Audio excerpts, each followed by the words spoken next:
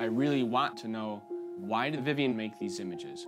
What drove her to such compulsion, to an obsessive degree, to take so many pictures?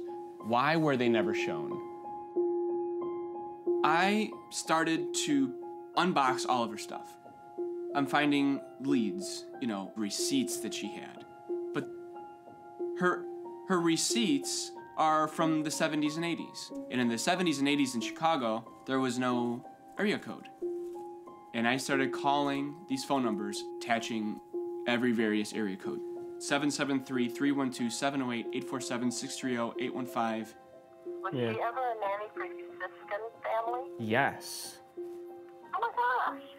Yeah, she was right next door.